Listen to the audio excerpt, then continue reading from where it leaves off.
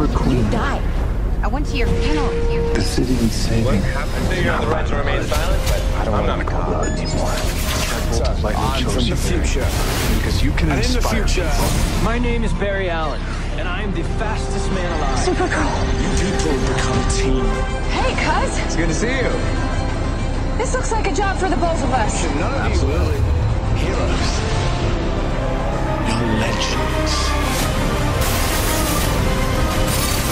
You have failed this city.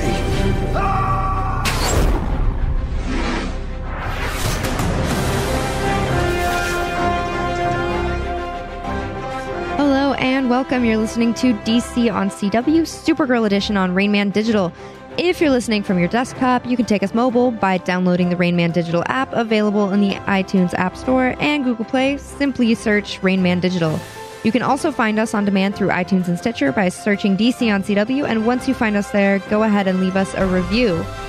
So, as always, uh, I'm Lauren. I'm here with Angelica and Bobby. Hello, hello. Um, and today we're going to be breaking down and discussing Supergirl Season 2, Episode 7, The Darkest Place. Angelica. what? How do you how do you not laugh like that at that title? The darkest place. They're all purrs. um, so this week's The Guardian tries to clear his name after he's accused of murder while on a mission to rescue uh, Supergirl. On a while on a mission to rescue mission, Supergirl is captured by Cadmus and comes face to face with Cyborg Superman. Words are good. Um, all right, so we have a little bit of uh, news and speculation, I guess, based on some things revealed in the episode. Um, someone over at inverse.com seems to think that Superwoman, all right, sorry, Supergirl could add Batwoman and it could revolutionize DC TV. I don't agree at all. Like not even a little bit. I'm I'm not I'm not into it. The person that was writing this article um just did not catch me at all. So they say basically um so Alex Danvers could become Batwoman on Supergirl. Like it seems like a stretch, but bear with us. Supergirl's gone out of its way this season to tease the existence of the Bat family, which eh, that's a stretch of a statement. They haven't You're gone out of their saying way words at this point. yeah. Um, and they're, you know, they go through, okay, Alex Danvers and Kate Kane are different in a lot of ways. Kate's a wealthy heiress, and then, like, she attended a military academy before she was expelled for her sexuality. Um, she doesn't have a day job with the military or the DEO, and Alex isn't a mem- member of a wealthy, influential family, blah, blah, blah. This is all just, like, literally things about them. But they're saying that for all their differences, they also have a striking number of similarities. like Um, gay, they're both obviously. they- I mean, not the least of which being that they're both queer women fighting aliens and superhumans in the DC universe. They're both also trained in combat. what? That's obviously a qualification for I'll being be- Batwoman. Just you just need to be gay and able to fight. Yeah. uh, albeit through different avenues, and they have vast resources at their disposal. Well, yeah. See, Um, and, and they when I they both use armor and experimental weaponry. And when I first read this, I was like, I, I really like Alex and the the actress that plays her. So I was like, Mhm. oh, okay, cool. Then I didn't read the article. I did read know the article, and I was like, Meh. um. this person is just saying They- words. Yeah, they were like, the two also share similar abilities. Neither has superpowers or the help of alien physiology. Like, yeah, they're both human. That doesn't mean anything. no. that doesn't mean anything. Um, okay, so the one thing, the one thing that they did get right, not that, that all of that is incorrect, but the one thing that was like valid speculation is okay, Maggie Sawyer.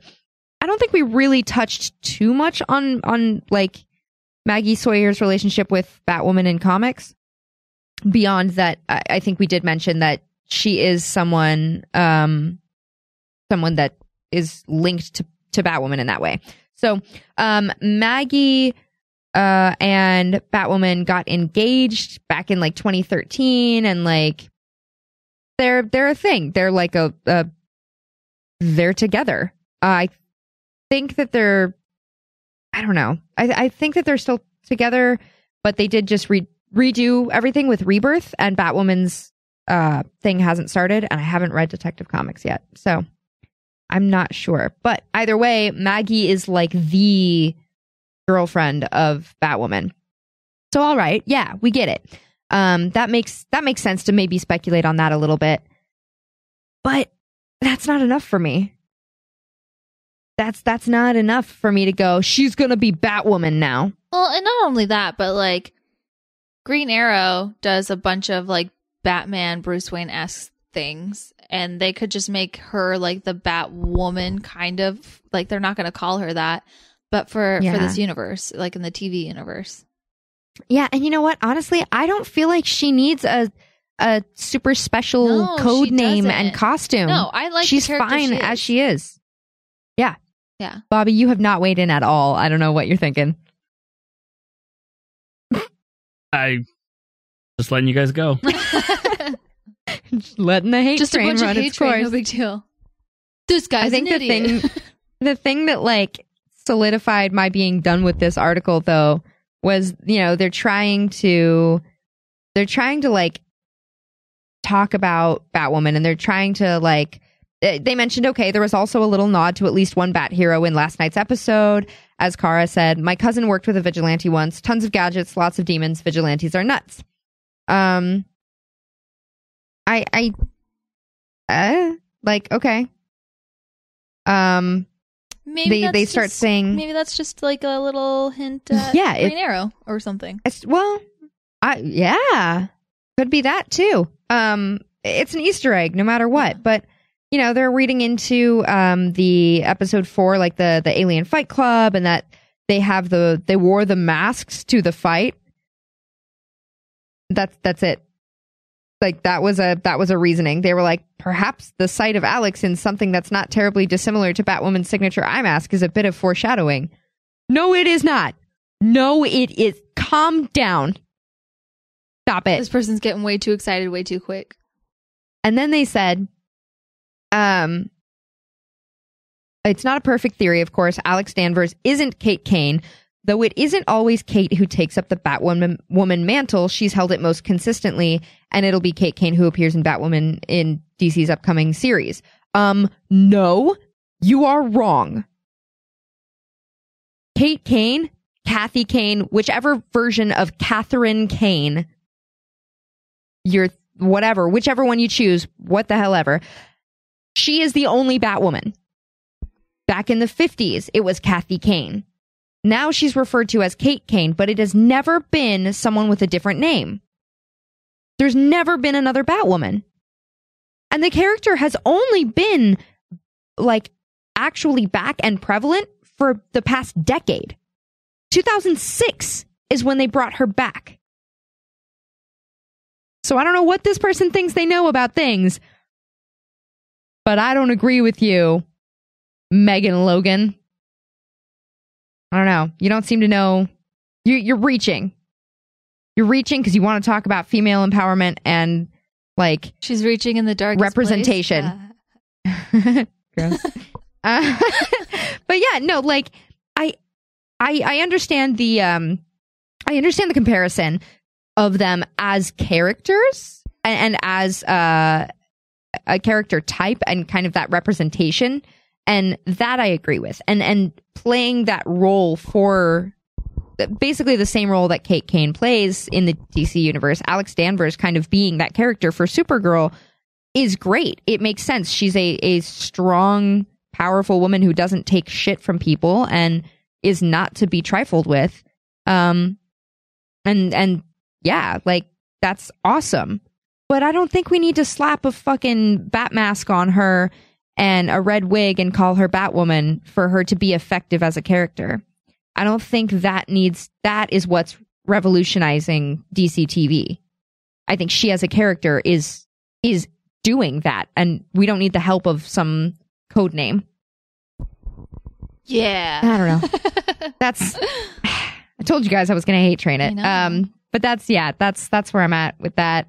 Um are we taking a little break or no? Yeah. Is that, okay. All right, we are going to take a quick break and then we will back and we'll jump into the episode. Get me a salad for lunch. I don't care what kind, as long as it has a cheeseburger on top. DC on CW. We'll be right back.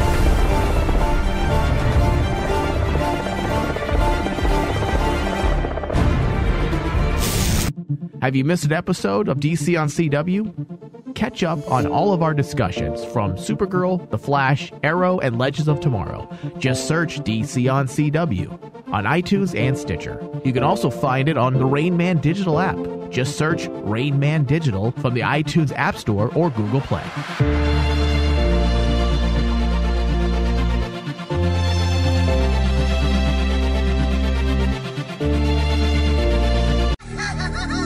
Uh, the Star Wars, the actual title, then you have Darth Vader, and those things are interconnected like beautifully. How Oh, they're working. And then you have Princess Leia, which I know you're not a big fan of. Uh, just but the it is artwork. good. The artwork kind of is. I haven't. I haven't. That's that's like the one I haven't because I've been busy. The artwork is shitty, man. I don't know. I, I- don't I like actually it, like dude. the It looks so cheesy.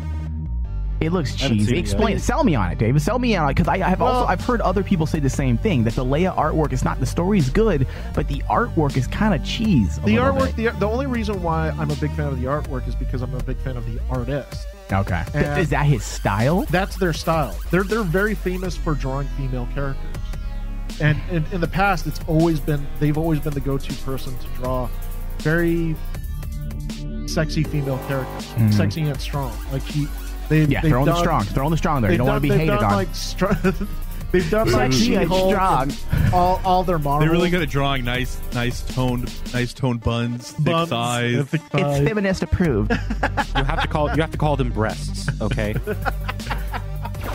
I understand that he became he ki- he was this all powerful Jedi, and now he's just kind of a henchman, and and now you see reasons that what what they're writing in between. Yeah. it fills in the gaps and really shows how Palpatine kind of treats him like a bitch. Well, no. Well, on top like- of that, you do wonder why Emperor Palpatine, Of course, yeah. puts all this power into Darth Vader, but treats him like a henchman. Yeah, I'm also. It's also probably a, a Sith move to keep him in check, so he doesn't become too big for his britches and slay him.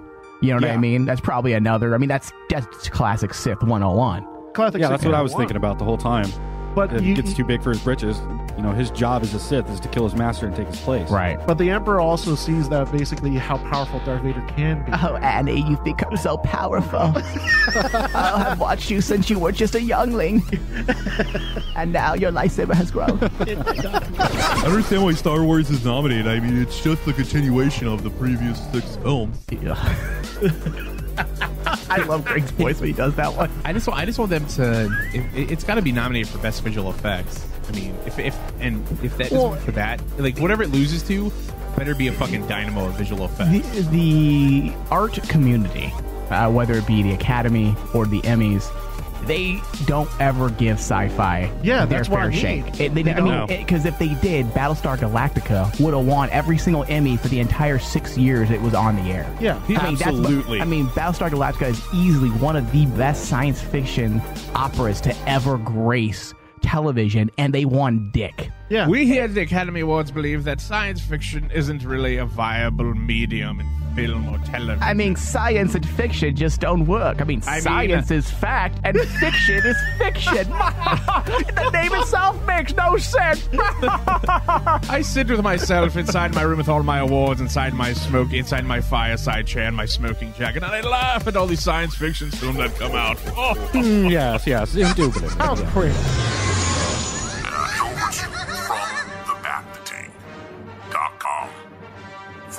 Details. And get ready for an excitingly good time. Also, if you've missed our last show, you can also find us on your Stitcher app. Search Back to Tank. Add us to your favorites. Thank you, and we will see you very soon.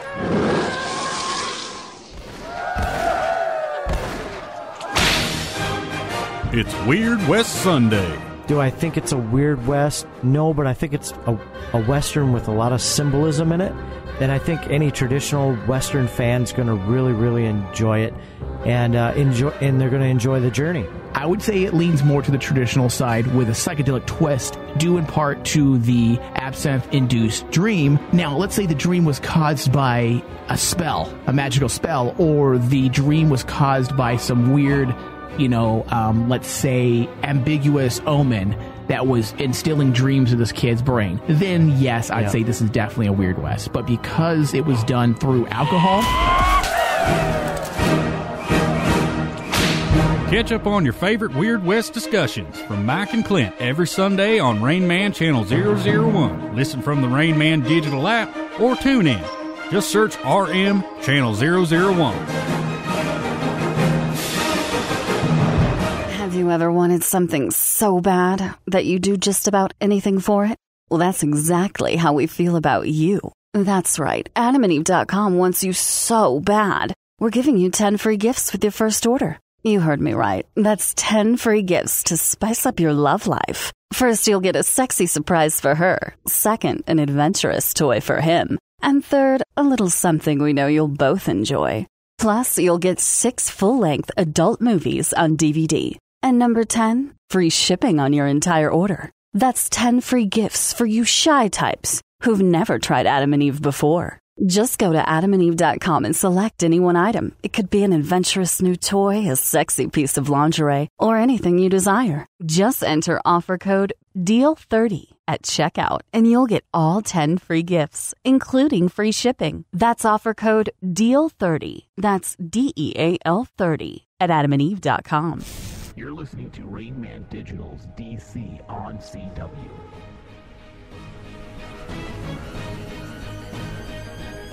All right, guys, we are back, and now we are going to talk about Supergirl season two, episode seven, "The Darkest Place."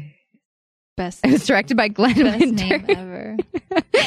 directed by Glenn Winter and written by Robert Rovner and Paula Yoo. Um, we kind of already discussed the synopsis a bit, Angelica but Angelica, do your thing. Alex is complaining and bitching about how Maggie doesn't love her and she's really mopey about it. Kind of bitchy. And then she confronts her about it, and uh, we'll see how that turns out. Also, she might be Batwoman, by the way. Shut up. And uh, the Guardian is actually pretty cool, and he's making us hate James a lot less. But I still hate James, but I'm a fan of the Guardian. Yeah. Basically, Is that- I became a fan of the Guardian this episode. God damn it. so mad about it. But uh, All right. yeah, it's pretty much pretty much what happened. Other than rescues within rescues, rescue inceptions. This is a Supergirl Rescue Ranger. so, all right. Um, we've only got two weeks left until the mid-season finale, and next week is when the whole invasion storyline starts. Well, you can feel like ties like co- like closing up and stuff like that. Like you can feel that like something's coming to a close here. So it's that and and the um the tensions with Cadmus and the um spotlight on aliens and and their role on Earth Yeah. is kind of heightening right now. I feel like it's we're really getting into like, hey, aliens, aliens, aliens, even more than we were. yeah. Because now all this shit with like Cadmus is really coming to the forefront. Um, so we we're really getting into Cadmus. Uh, we have an introduction to Cyborg Superman, which I thought was a little cheesy, but we'll get to that. Um, so she Supergirl attempts to rescue Mon-El. They they finally find out that he is at, well, she finally finds out that he's at Cadmus. They're drinking at the beginning of the episode, making jokes about like, what do you call a male floozy? A Daxamite. It was good. like it was so good, especially because I don't think I've ever Oh no, not ever. I have not recently heard the word floozy on TV. So it made me very happy. That's true. I mean, I use that word a lot, but still. yeah, yeah, Probably me the only word they can get away with. Right. But Like you can't really be like, "What's a male whore?" uh, a tart, a hussy. Um yeah, there's like there's so many things. the list goes on and Uh, on. We can keep going. all Also, day. I'm pretty sure they could say ho. hooker lady, hooker man, Hooker man. hook. That's gonna be his new. uh That's gonna be his superhero name, Hooker Man. um. All right. So, all jokes aside about how much of a male floozy he is, they're they're thinking that he's just probably at some girl's place, and really he's in a cell at Cadmus. Supergirl gets the call from Bitchy McBitchface, and she goes to try and rescue him. Gets confronted by Hank, who we saw at the first part of the episode, which threw me right the hell off. It, it had Yeah, to do to everybody. Like it did not flow very well. I, I thought I thought I forgot something. I've been so crazy busy. It's like Thanksgiving week and and I, you know, I'm I'm dealing with trying to like organize everything and deal with my work closing and, you know, not being there for a couple days and so I've been so busy that when I went to watch the episode this morning, I thought I thought I just forgot something. I was like, "Oh shit, did Hank get did did John get okay. All right, I guess he's captured." and that's all I thought. Um, but then of course we uh, we see Supergirl get confronted by Hank, who is the real Hank Henshaw, who survived more or less what happened years ago when he encountered Martian Manhunter for the first time. Um, so I, I okay. So we see Bobby was saying we see the fight twice between Supergirl and Hank. Um, I don't really know what you mean by that. What is the what were you- opening scene, you see it, and then you see it later when he's actually revealed to be Cyborg Superman. They make you believe that Hank was something happened with him in his blood that he was attacking her for some reason. Oh, that's, That's- what they were trying to do. Oh, That's like yeah, that that's what I got out of it. And those like you know that because it was the initial shot of the show. Hmm. I thought maybe Hank was having the side effect of the blood, which caused him to go out and attack her for some reason. Ah. And then you know you don't get that reveal till later that something is really up with them. Okay. Yeah, I no, I don't know. That that didn't click with me at all. I didn't. It did. It I didn't did think feel about like that you that missed way. something. Yeah. Like it didn't yeah. feel like a flash forward. I guess it's. I don't know. Probably because Yeah, that's not um, usually the formula, so it definitely didn't feel. No, the the whole thing wasn't the formula this Yeah. week. Yeah. It- I mean, from the beginning shot of them doing that 360 around the bar scene Mhm. to recapping Guardian to doing all that, that is not a this. that is not a Supergirl shot at all. I did like the opening bar scene. I did like them kind of like gossiping and gabbing amongst themselves about Guardian, kind of kind of catching up between themselves because we do have a couple of storylines that have been going parallel to each other. So I I did like that scene of them kind of getting together and discussing the things that they don't discuss together. But just everything they did this week wasn't anything we've seen before. Yeah. And then that's probably why it felt weird to everybody is we don't see like like you said flash forwards. We don't see them cut away and do like flashbacks to you Yeah. know Jimmy fighting off three guys in an alley and all this other stuff and it was completely different than like like anything. And, Yeah. and and, and I think that kind of set like that weird tone of what's going on this week. I think some of it was really fun, some of it was really successful, and then other parts were a little bit wonky. And I think really the only parts I had a problem with were those surrounding Hank Henshaw. Um, not not John, but Hank. Because yeah, it just it was very sudden. It was a little bit confusing. You didn't feel like you were up to speed on stuff. You felt like you missed something. And not in a oh my god, what's happening? But like, did I did, did he get, get what's happening? Yeah, they Like, they never went back and showed like you know the whole Mon-El like oh you know he's you better do what he say or they're gonna kill Hank or and all that other stuff. It Yeah. just it felt weird because you had no thing of like Hank's missing or you know what could have happened was Hank would have could have been in his apartment having like a fever sweats or whatever from side effects of the blood. You know that he I wasn't got that co- too much macaroni sweats. you know that that he wasn't there and around and people were worried about him and then those kind of flash forward scenes would have worked that he got captured by Cadmus. Yeah. So, all right. Kind of moving on from that. We we discussed in season 1, we speculated um that Hank Henshaw was going to be Cyborg Superman. Because red eyes Because- for four episodes. Yeah. Because red eyes. Yeah, so the second time that we see Hank in the episode, it clicked right there for me. I was like, "Oh, we're getting we're getting Cyborg Superman right here. That's what's going to happen." yeah, it was yeah, it was it was And you know, it was they could have done with they could have done without the beginning, and I would have been fine with that. Like I, I get that they were trying to do something, but it wasn't necessary. Yeah. Your turn. But it didn't work. It was uh it was definitely it was weird to see um it, it was like weird and somehow still kind of satisfying to see Hank Henshaw, you know, really end up being Cyborg Superman. Um so Hank Henshaw dates back to the 90s. I mean, that's it, right? Just 1990 is when he was his Yeah. first appearance, right? Um, and then Cyborg Superman, like Hank Henshaw as Cyborg Superman, um, he was an astronaut at NASA. A solar flare hit his space shuttle, um, and it damaged the ship and crew. He and the crew found that their bodies began to mutate, and after returning to Earth, their entire crew, including Henshaw's wife, eventually committed suicide. Um, that's a little dark. Jesus fucking After- Christ! yeah. So after learning that Superman had thrown the Eradicator into the sun in a battle, uh, Henshaw blamed Superman for the solar flare and the accident. Uh, before his body completely disintegrated due to the radiation exposure, he was able to save his consciousness. So, using NASA communications equipment, he beamed his mind into the birthing matrix, which had carried Superman from Krypton to Earth as an infant.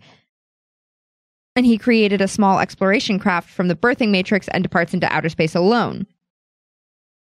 Becoming increasingly mentally unstable, Henshaw used, used Superman's birthing matrix to create a body identical to Superman's, albeit with cybernetic parts. And he returned to Earth to kill Superman, only to discover that Superman had already died during his absence. That's Um, be disappointing. yeah, right. right? My whole life's goal is to come back and kill you. my one purpose in life. But it was the death of Superman, which we all know was a very short lived thing. And he uh, was resurrected. And he became, uh, Henshaw became a recurring adversary of Superman um, and of Green Lantern. Uh, he became a member of the Sinestro Corps during Blackest Night. So that's your crash course on Cyborg Superman, Hank Henshaw.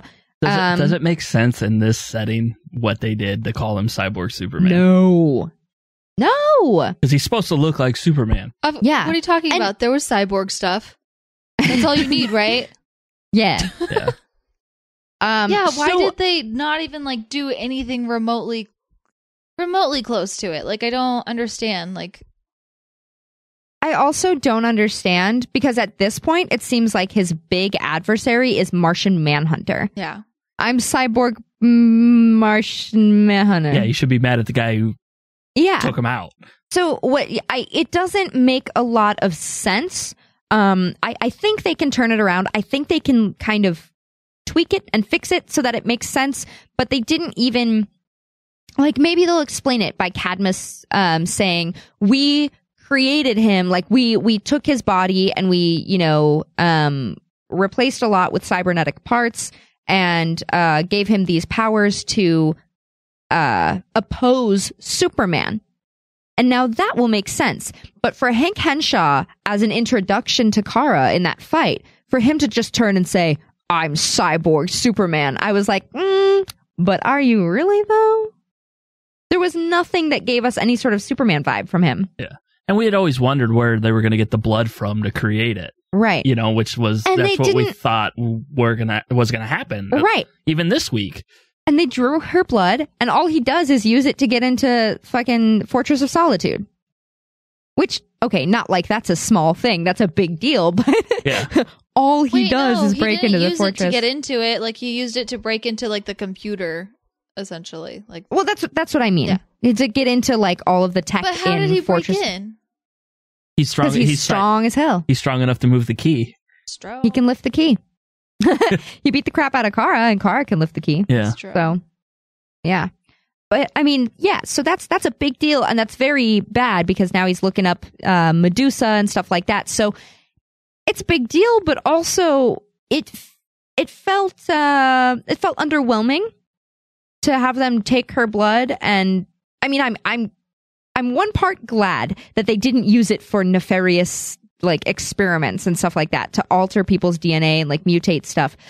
But on the other hand, it did feel underwhelming that they didn't use it for anything like that to create Cyborg Superman or anything like that.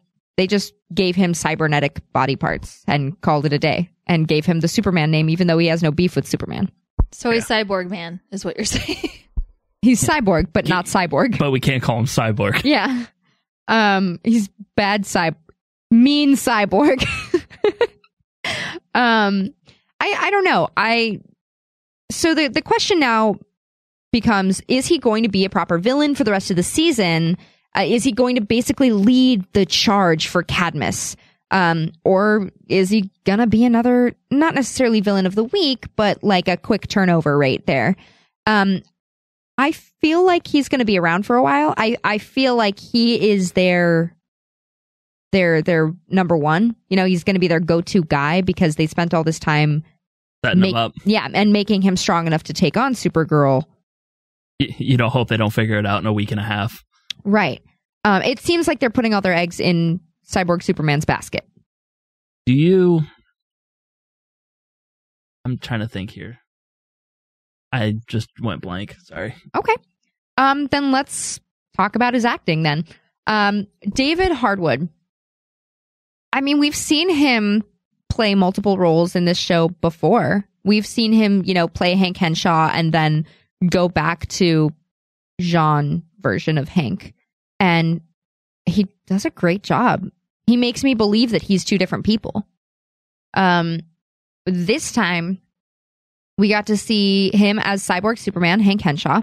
Um, we got to see him as the real Hank Henshaw Cyborg Superman, pretending to be uh, J'onn Hank, imprisoned with Mon-El and begging him, "No, just run, leave me." Um, and then, of course, we get to see him have a couple different interactions as angry, angry J'onn in Hank's body and J'onn in his Green Martian skin. So he had a lot going on this week. Um, You feel like he should get multiple paychecks if you're pulling that much weight. right? I mean, so who do I have to be this time? Yeah, seriously. How many rules do I have this week? All right, cool. Yeah, I'm only going to get credit for one. The CW has done a really good job, like with the shows that that we watch, like our superhero shows. Uh, they've done a really good job with doing that multiple times, like in Flash with. like with the same actor Yeah. playing different. Yeah, yeah. That's really cool to see. I think. Do you think that's part of the casting process at this point? Like, okay, play this character. Now play this character, but if these things happened and they were much angrier. well, you you wonder like at the beginning when they casted him, did they know that okay, you are going this is the path we're going down with your character. You're Yeah. going to be this dude pretending to be a dude who's a Martian and then you're going to go back to be the dude you originally were, but then you're going to be the guy who is supposed to be the guy who you originally were, but now you have uh, robot parts in you. I'm a, now you got robot I'm a parts. dude dressed as Robot. a dude And- and- disguised as another dude. Yeah. That whole And- thing. Yeah, and now you're going to be the the alien mixed with a little bit of another alien. Yeah. And you're going to have to act like that other alien does, but kind of keep what you do too. I'm interested to see where his acting goes and where the where the character goes, not just his acting, but J'onn as a character. Because now, you know, we've got him hallucinating. He's seeing visions of his family. He's seeing um, That's not white even the Martians. worst part. I know, I know. I get there. He saw that. He saw that white Martian and almost shot a dude in the DEO. And the he's doughiest looking guy too. poor dude. He's just like, boss, I'm just the IT guy. Leave me alone. I loved you. His face was just, oh no. Did I do something? Did I make you mad? um, and he, uh, you know, he he has Alex run the tests and knows exactly what he's looking at when it comes up on the screen. Doesn't tell Alex, so I kind of wonder. I, I kind of wonder if he's going to try and tough it out on his own.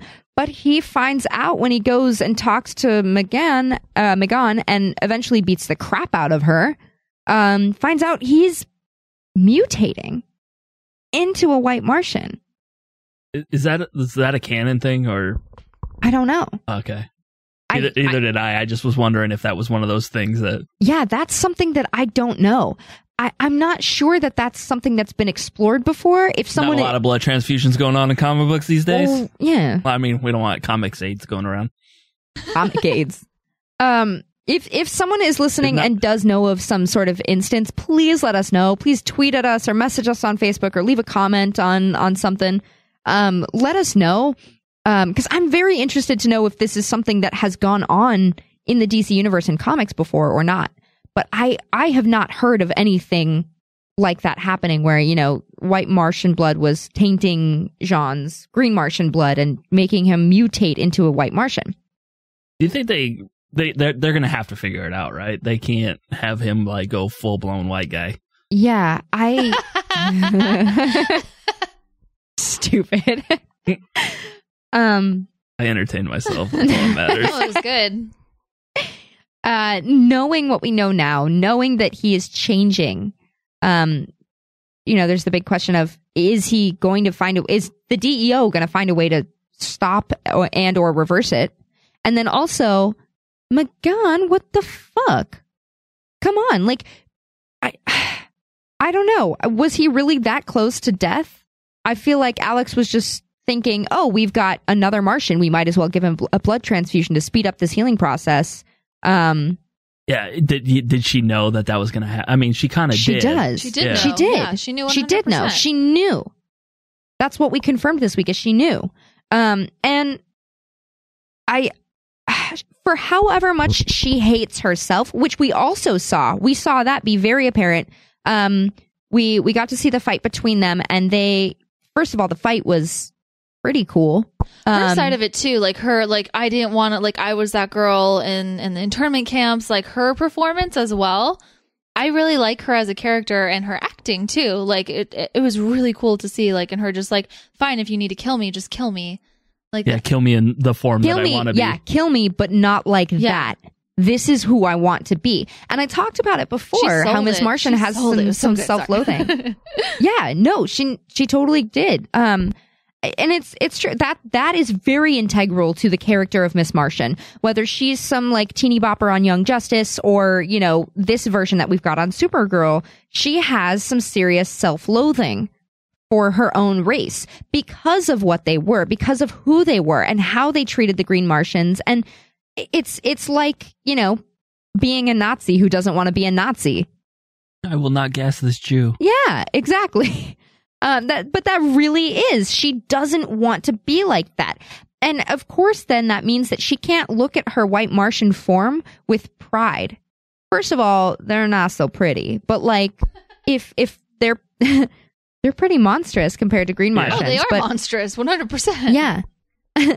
but I mean, given that they look like that and they're, you know, hell bent on the genocide of the Green Martians and they're cruel and vicious and violent, um, if she's not like that, it makes perfect sense that she can't stand to look at that form. She can't stand to look at herself like that.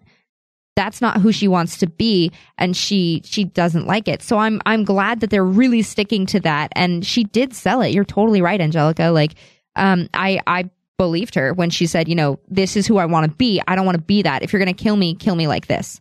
Um, Does this mean he's not going for the crossover? I don't know. I mean, Or he could be a part of it and just be having some side effects throughout it. yeah. I just wouldn't Or- because it would be like confusing to people that haven't watched the show if all of a sudden, you know, Martian Manhunter's over there going spastic. Yeah. Or maybe the crossover is when or how or whatever he gets to find a way to kind of reverse this or or at least prevent it from going further. Yeah, Barry runs him backwards. Or maybe he comes in contact with another alien that knows something. You know what I mean? Like yeah. it could be any number of things. Um so all right. After a failed attempt to rescue Supergirl, um we get to learn more about Cadmus and Lillian Luthor. So um we learn that Cadmus kidnapped Mon-El to get to Supergirl. Because I mean, kind of obviously. Well, I thought last week we weren't really sure. We thought maybe that was going to be the cyborg Superman because he had the power, like Yeah. similar powers that they could, you know, research on. That's true. And that does that did make sense as a theory for sure. But um They ditched that real quick. Supergirl is kind of like the end game for them though. So that's not surprising to me that that's their goal. Um we we get to see Kara learn that Lillian Luthor is obviously Lena Luthor's mom. Um, we get to see that connection. She recognizes her right off the bat and says, you know, oh, I saw you in Lena Luthor's office. Who are you? Um, so we also get some serious backstory. I, I'm pretty sure I heard Kara refer to Lex as Alex, but maybe that was just kind of a like a, a slur between words or something. Mm. Because I swear I heard her say like Alex and Lena's um, mother, and I was like, "You're on those terms with him, like, yeah, Alexander? Are you gonna call him that now?" But Go by his proper government name. yeah, but I'm pretty sure it was either me mishearing something or she just kind of like slurred letters together or something like that. But um we get to see that Lillian, her whole hatred is founded in Superman's supposed betrayal of Lex Luthor. Um, how he came to him and sold him his propaganda of this and that and like, you know, glory and helping the world and poor little Alex was just trying to keep Superman's power in check. Um she is she is completely convinced that Lex is not evil. He's 100% good and and for the greater good of the world and her poor genius baby son is in prison for the rest of his life. Now for us as viewers, it's really easy to look at her and go, "Oh, you crazy bitch." First of all, from what we've seen from her so far, and then in addition to that, just knowing, even if you don't know a lot about Lex Luthor or Superman or comics or whatever, bottom line is you probably know that Lex is his number one adversary. And he hasn't, that's not for no reason. Lex is hell bent on power. Um, he's not crazy. He's very well put together. He's very intelligent and he's not like off his rocker. He's just, uh, uh, he's, he's hell bent on getting all the power he can and he's going to do what it takes. He is not very sympathetic. Uh, he he does not take other people into account other than what they can be used for. He's very objective, and and so knowing that, it's easy for us to look at her and go, "Oh yeah, you're just evil. You're bad." Oh, or it's the old my baby can't do anything wrong in my eyes. Well, and and yes, but like, but she seems to clearly agree with the things that Lex did, Yeah. and if the things that he did landed him in prison, well, probably ipso facto they were bad. Um, do you think that the the mother's revenge backstory is is like it makes for good TV, makes for a good story? I like it for like something different. Like it's it's different than what would be in the comics and I I like the way that she spun it too, just like my baby boy and stuff like that. Like it was it was cool and psychotic in a way as well, just because she's doing whatever she can to protect it. And this this Yeah. show is definitely about like women and like girl power and things like that and to like make the main villain a woman who is like protecting her son essentially like i i thought that was really really cool well and her daughters too so another strong Yeah. female character She seems to have a rocky relationship with Lena though, because Lena Yeah. seems to have surprisingly, and even though we've been a little bit like skeptical we and were like wondering which one of them was going to be the bad yeah, one. we're like we're concerned. We're just like, I want to trust Lena, but she's still a Luthor. Um, but yeah, I I think she's um I think it I think it's good for this series. And actually, we've really had our our two big villains towards the the beginnings of both of these seasons have been women. Um and that's not to say that they're the only ones, especially with like Astra dying last season. You know, it became her husband that was the villain after that. And that's super cool that it it doesn't they don't really stress it. They just do it. You know, they just give us a strong female villain yeah, and it's and and then they move on. Like it doesn't have to be women everything, girl power all the time. Please focus on it always. it's not pun- it doesn't punch you in the face. It's, just there. there. They just do it. Um, and yeah, I think especially Supergirl's story, the whole series is all about family. So I think this being rooted in in a family thing, some some family revenge, I think really fits with with Kara, with the Danvers, with all of her family drama. So I think it's cool to to take that spin, like you said, Angelica, making it different from the comics and making the Luthor, uh, the the Luthor vendetta and their whole story be very family rooted. It makes perfect sense for Supergirl. Um, so I, what did you guys when you think, about it like family style? Like that sounds family style. Huh? When you think about like the family, like We're getting the extra large size. the family being like just so like connected and stuff like and so like dark like it goes back to like even their mother who's just like no we will take them down because they've done us wrong like it makes it that much richer of a character and, and a story Yeah. Um. So continuing on with uh, Mama Luthor, she wants Kara's blood, and we thought it was going to be for Cyborg Superman, um, but he already got introduced to us, and it's not for that. It's for him, but not to put into him. Um. So I, uh, I thought that it was a the scene where they take her, you know, she agrees to it and she solar flares and expends her energy and then gets taken to go get her blood drawn.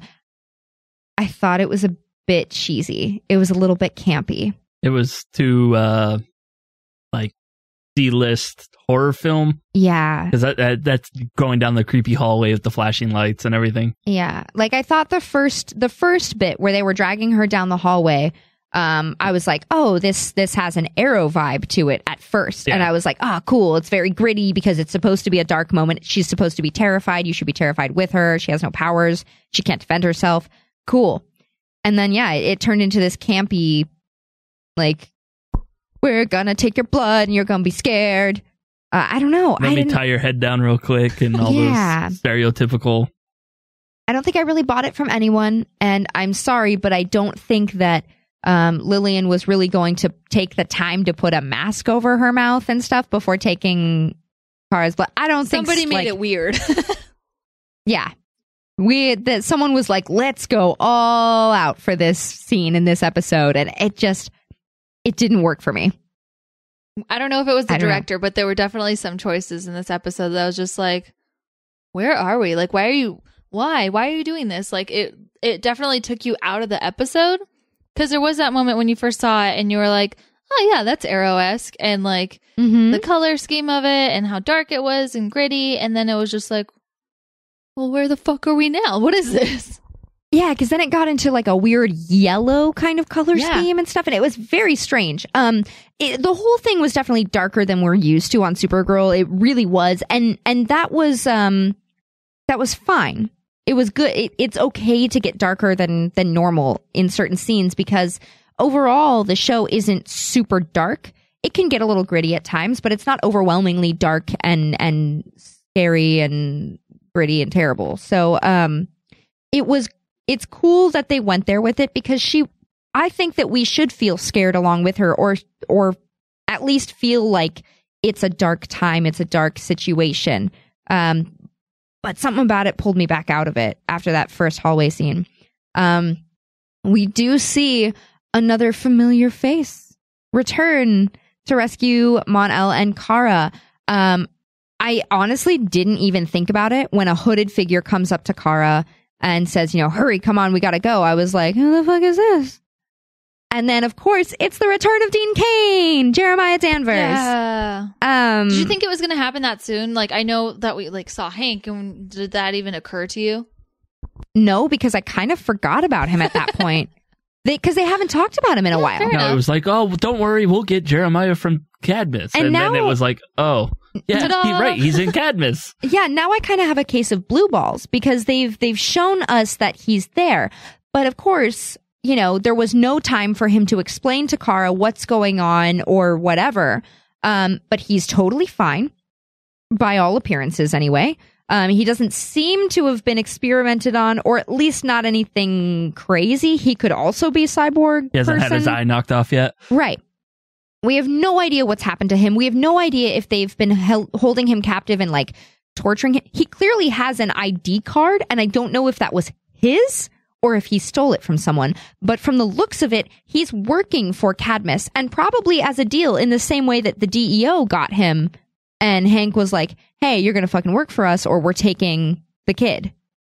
Um, so I I have to wonder. I I don't know. I don't know what he's up to. I I want to believe that he is still good. I'm sure he is, but what the hell's going on? Because they don't tell us. They don't explain it. Um, it, it's. I'm. I feel like Kara in this situation. I feel very frustrated by the lack of information, and I I know that that's giving us buildup for Whatever whatever's- the reveal is, whatever's, whatever's- wrong with him or whatever he's doing. Mhm. There's something there. There, it's not all peachy. There's something wrong. There's something terrible going on. We just don't know what yet. Because it almost, to me, almost felt like a setup that she got away so like easy with Yeah, him. Like, Absolutely. You know, like, oh, we got your blood. We're done with you. We'll come back when we're ready to finish this. And that's Yeah. what I'm wondering if he's going to end up being some kind of double agent or maybe he's a cyborg, like you said, also. Right. And I I just think it was it was also real convenient that he was able to get them out of the cells, get the bullet out of Mon-El's leg, chit chat with them for a second, say kind of a long goodbye to Kara and like send them down, you know, that exit and get them out of out of there when when we think about when Mon-El was trying to escape earlier in the episode, you know, he knocked the guard out, he took his ID card, got out of there, ran, and was immediately stopped by people who were like waiting for it and had um I mean they they were carrying Hank Henshaw as though he was a prisoner. They had it set up, they had it prepared. So Yeah. they knew he got out of the cell. There's something going on that we don't know about. And I hope so at least because otherwise this whole episode's writing style and everything was just like really like not up to par with what it's been. Like if that's the story that they're sticking with and nothing get, gets explained later as to like why did they make these decisions? It it's Yeah. very uh just not our usual writing style or directing. Yeah. Well, I mean, so he's he stays behind at, Cas- at Cadmus, and I just I have to believe that it's a double cross. I have to. I or there's something terrible going on. He's being blackmailed, or he's being controlled, or it wasn't really him, or anything. Yeah. You know, um, there's something deep and dark there that we haven't gotten into. I I thought I hope he ends up being Cyborg Superman and puts on like the suit one more time as like this, you know, cyborg. Yeah. Well, and then uh, the other the other thing too um, is you were mentioning, you know, do you think this was like an act that they let her out on on purpose, whatever? So, um, it it does seem. Bobby pointed out, like you know, if it if they caught her for her blood and that's what they wanted her for, did they just release her because they were done with her? And and I think that that's probably what we're looking at. I think it was probably a constructed situation. Um, they let Jeremiah probably thought he was uh, maybe not probably maybe Jeremiah thought he was really rescuing them and and when in reality Lillian was like okay we're going to let her think that she escaped Yeah, because you figure if they hold her for too long, her cousin's gonna come. Yeah. you know, DEO is gonna staff up and figure out what the hell's going on. Yeah, it's so- just not like if I disappeared, nobody'd be looking for me very long. um so we got a couple more things to cover I'm just saying, I don't have a cousin with superpowers that's gonna come find me. yeah yeah same I also don't I don't know Yeah, People will be like, "Where'd we she go?" get I a- don't know. Who we knows? might get a milk carton or a telephone pole. a milk carton Do they still do that? I think it's all about Facebook now Oh yeah, my cousin went missing I might get an Amber Alert. Would it? I don't think it's an Amber Alert. I think you're somewhere in between Amber and Silver. Uh, Find this dumb fuck alert. Um. All right. So, um, jumping back to Cyborg Superman, he takes the blood that they got from Supergirl. He goes to the Fortress of Solitude, like we discussed, and he, uh, he uses the blood. He just haphazardly jump dumps it all over his hand and just slaps that baby down on the console. Not what I expected. Yeah, me either. I was like, all right, I that's one way to do it, I suppose. Um, and he asks the computer about the project they call Medusa. And I I have to wonder what they're going to do with that.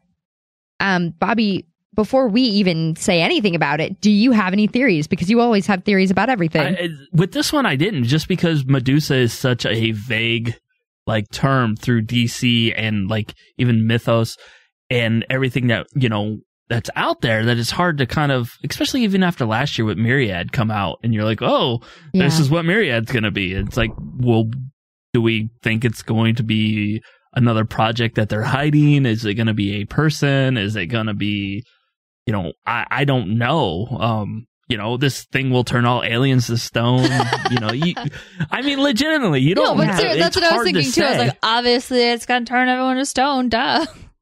it's a snakehead Yeah, I, I mean, so we do have a character called Medusa in the DC universe, um, who did have their her first. I mean, it's it's basically exactly what you expect from Medusa. Um, she it's all rooted in you know the the Greek mythology and everything, and she's the the chief of the Gorgons, turns people to stone with her eyes, etc., etc. It's all of that stuff, um, but kind of rooted in Wonder Woman's.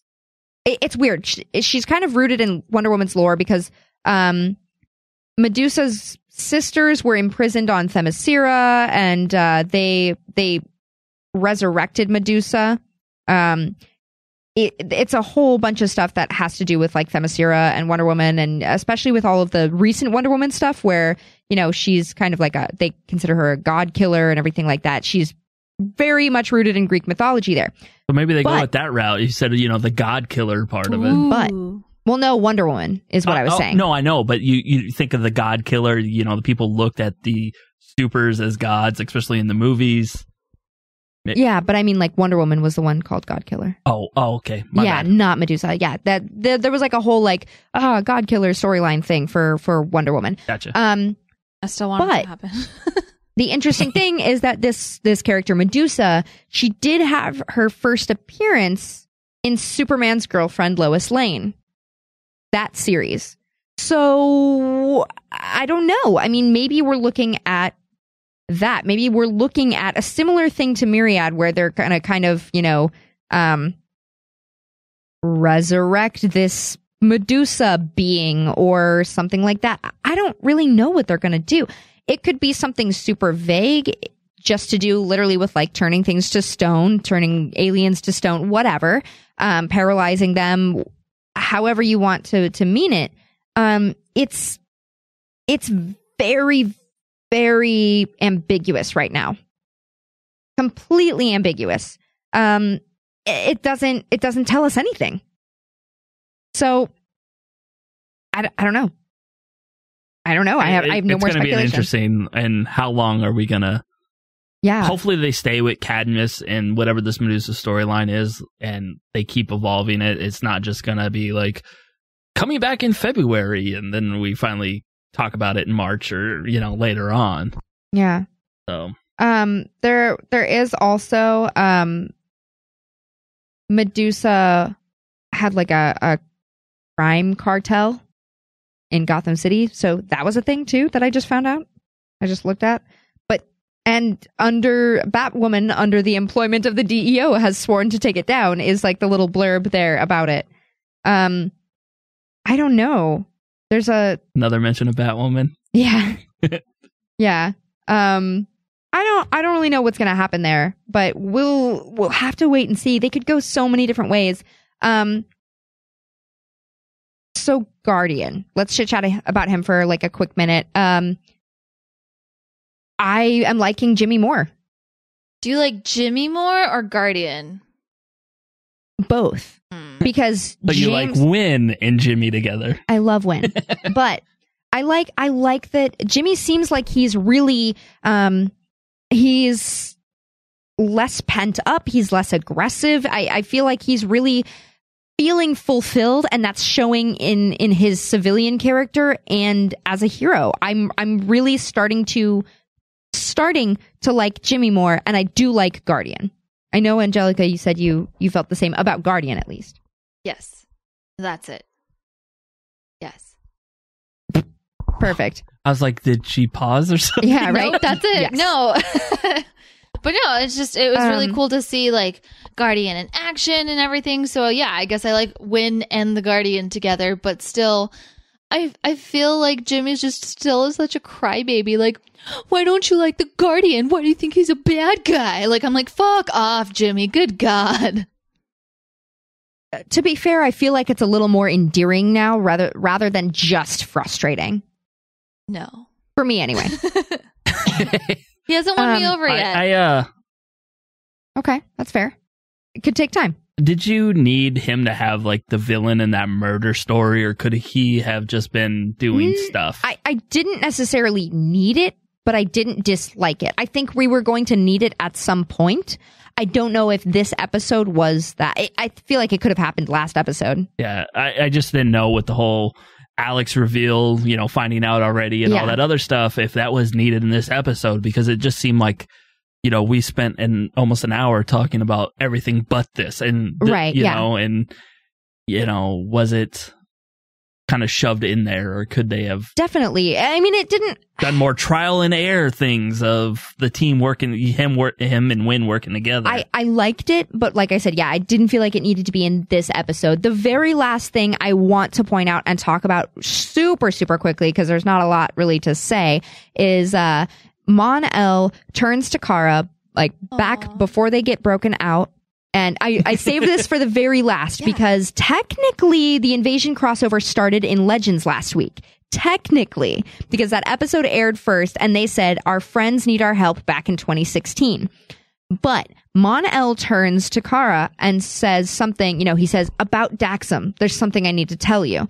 Um, holy shit, he knows something that's related to this invasion. He must have like he must have gotten something back from a distress beacon or or or something he must have known something was headed this way. He knows something about what's coming. Do you think that's how this fires off then? I don't know. Yes, something to do with him because it, it's no coincidence. It's not going to be a coincidence that there are Daxamites ready to invade Earth. So he's connected somehow, and that was our first little tease to that. Um, think Angelica thought you were going to talk about the love thing. I mean, that's cute and precious. It was it was real cute. I'm just studying human things.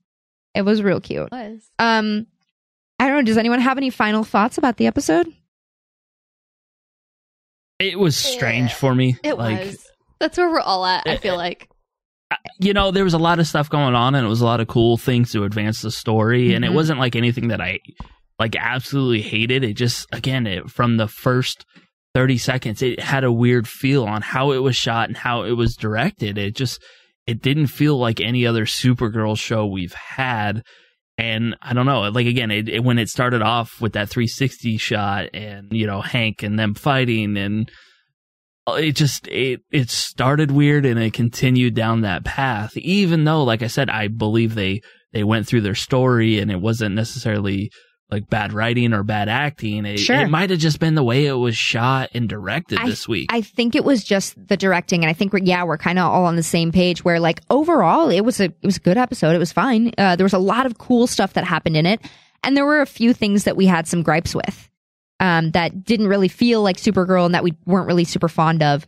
Um, visually, everything was was good though. Like s- the cinematography was good. Other than that one like weird campy like spooky drawing the blood scene, but Yeah, other than that, flickering like light going down the hallway yeah, it was weird. all these are white light bulbs that one's But- yellow why Yeah. I'd like to. Angelica, do you got a thing? Why? Okay, so I know that Kara got drained of everything and stuff, Uh huh. but what fucking ring was she wearing when she smacked the shit out of her? Oh yeah, that was a bit intense. she slapped her and it was just like, I- oh, the blood ever. Oh no. I was like, oh, okay. I think it was I think it was just for effect. Um, but they could have done with like a little a little slit, like a little cut on Yeah. her Her lip with like, like, a, a drop of blood or something. Oh, is that a So, yeah, thumb ring? I- like I'm that's all I was thinking right there. Because it was so intense. Yeah. I was like, oh shit, what is she wearing? she with wasn't ya. wearing anything. But again, everything in that scene was just over the top dramatic. So I was like, Yeah, but the rest of the rest of the episode was pretty pretty good, pretty normal as far as like the dramatics were concerned. So I overall I liked it. There were just a couple things where I was like, eh, all right, Uh, guys. like we said different feel yeah, for sure. All right, uh, that's going to be it for today's DC on CW Supergirl edition. Remember, you can always catch any past and future DC on CW episodes through the Rain Man digital app. Be sure to follow us on Twitter at DC on CW, Facebook.com slash DC on CW, and Instagram at DC underscore on underscore CW. Uh, next week starts the invasion crossover. So that's going to be crazy and hectic. And I know we're all looking forward to it. So be sure to tune into all of the shows next week for full coverage of it. And we will catch you next week for the invasion. I'm Supergirl. You're who now?